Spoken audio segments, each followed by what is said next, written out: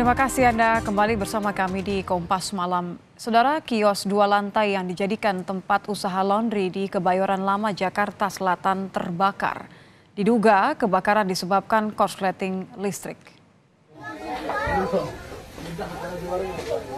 Kobaran api membakar kios dua lantai yang dijadikan tempat usaha laundry di Jalan Kebon Mangga 3, Kebayoran Lama, Jakarta Selatan. Banyaknya pakaian yang mudah terbakar membuat api cepat membesar dan menghanguskan kios beserta seluruh isinya.